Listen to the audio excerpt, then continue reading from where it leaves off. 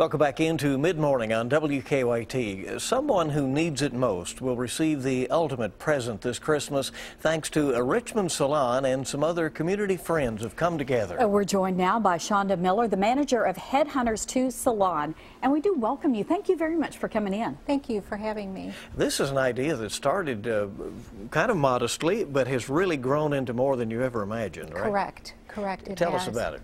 Well, uh, actually, it started out with our salon just wanting to give away a makeover. And I started talking to Soft Shoe next door, which is our neighboring uh, friends, and it just kind of grew from there. And the more we talked about it, the more companies have come in and donated and it just became the ultimate present to give away.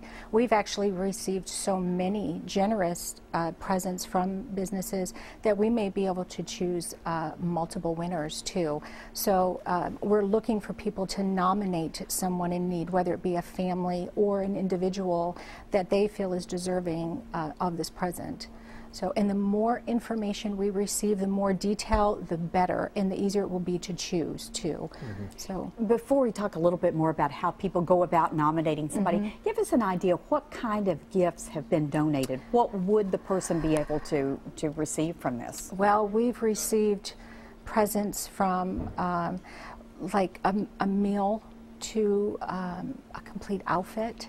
We've received um, toys bicycles. Mm-hmm. Uh, I mean, the list goes on and on of the different different things that we've gotten.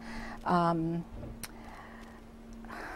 I mean, there's so much I don't even know where to where to begin. But needless to say, it's going to really, it's really help some people. It's the ultimate present. It, I mean, and growing. You, yeah. I mean, it, it, sounds like you really, at this point, don't know how big this could uh, become. Exactly, right? because the more we talk about it, the more I'm receiving. Even yesterday, someone stepped forward and said, "Oh, I would like to give a gift card." -huh. I mean, it just continues to grow, and that's why we want to get the word out there to to nominate well, and I'm sure people who are hearing this may be thinking mm -hmm. of that. Oh, I, I, have that person in mind. How do you go about nominating?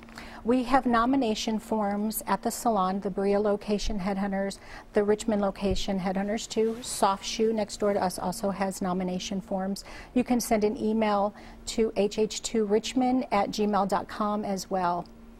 All right. Well, Shonda, thank you very much uh, for coming in, and uh, hopefully you'll let us know who. I Uh, right. When are you going to be giving these out? Um, actually, the deadline is December 1st, mm -hmm. and then we will be letting the winner know on December 5th. All right. Thank you so much Thank for coming you. in. Thank you. Thank you. It's an uplifting story to hear Thank about. You. Appreciate it.